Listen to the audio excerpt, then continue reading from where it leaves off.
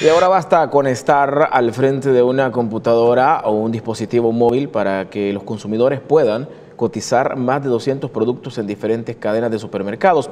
Se trata de Precompra, una plataforma digital que ha lanzado la Defensoría del Consumidor.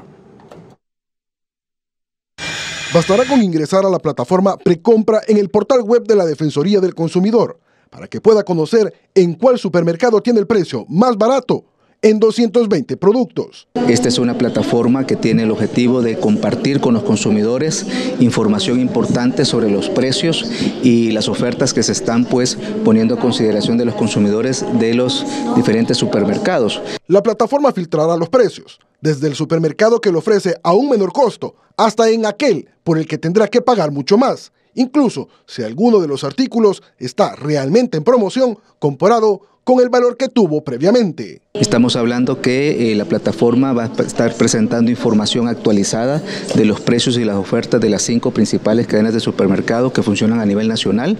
Eh, por medio de precompra los consumidores podrán eh, identificar los precios, poderlos comparar y en función de eso también poder tomar mejores decisiones de acuerdo a su conveniencia, de acuerdo a aquello que pueda presentar también condiciones de ahorro. La plataforma también filtrará el municipio donde usted realizará la compra para que disponga de las salas de venta de los supermercados que usted podrá visitar.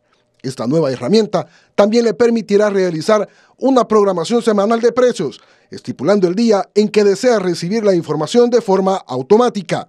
Lo único que tendrá que hacer es registrarse con su correo electrónico más de 200 eh, productos eh, eh, principales de la, de la, canasta básica.